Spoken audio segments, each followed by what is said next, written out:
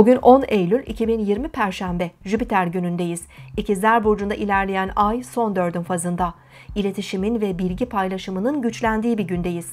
Ay öğle saatlerinde Başak Burcu'ndaki güneşle dik açı yapacak. Duygu ve düşüncelerimiz arasında bazı çatışmalar yaşayabiliriz. Son birkaç haftadır ilgilendiğimiz konularda sonuçlanmalar olabilir. Çevremizde düşüncelerimizi ve kararlarımızı etkileyecek gelişmelerle karşılaşabiliriz. Öğle saatlerinde karşı cinse ilişkilerde daha özenli davranmalıyız. Ay öğleden sonraki saatlerde balık burcundaki Neptün'e dik açı yapacak. Bu saatlerde belirsizlikler ve karışıklıklar günlük yaşamı biraz zorlayabilir. Yanlış anlaşılmalara, unutkanlık ve dalgınlıklara daha fazla dikkat etmeliyiz. Enerji gezegenimiz Mars bugün Koç burcunda retro harekete başlayacak.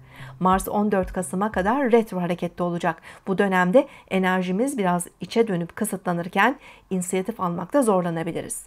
Mars retro iken bazen tuhaf ve anlaşılmaz olsa da inatçı bir şekilde ideallerin peşinden gidebiliriz. Retro dönemde bu alanlarda dürtüsel ve tepkisel davranabilir, eylemlerimizi kontrol etmekte zorlanabiliriz. Davranışlarımız geçmişte bastırdığımız duygulara bir tepki şeklinde de oluşabilir.